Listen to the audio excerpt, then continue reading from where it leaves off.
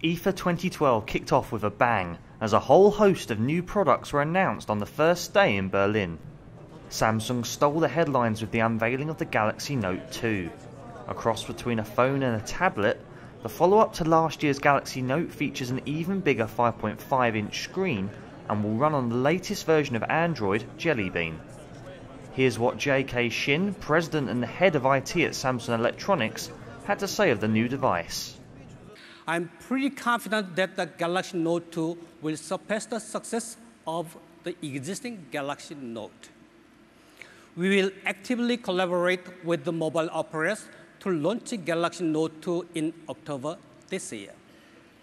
And of course, we will do our best to have a majority of these great new and innovative features of the Galaxy Note 2 be available for our existing Galaxy Note customers. Whilst the announcement of the Galaxy Note 2 was expected, the launch of the Samsung Galaxy camera came as a total surprise.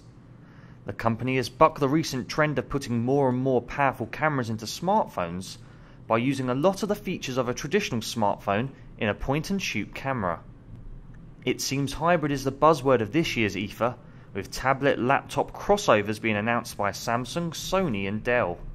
Samsung announced three ATIV Windows 8 tablets that can work as either a tablet or as a laptop when attached to a keyboard dock. Sony announced a convertible Ultrabook, the VAIO Duo 11, that allows the screen to slide up to reveal a keyboard underneath. Sony also announced a device that will be a little harder for you to get your hands on a massive 84 inch 4K enabled TV that offers four times the resolution of HD. But don't try and find the space for the screen in your living room just yet, as the TV is likely to be priced at around £20,000 when it's released later this year.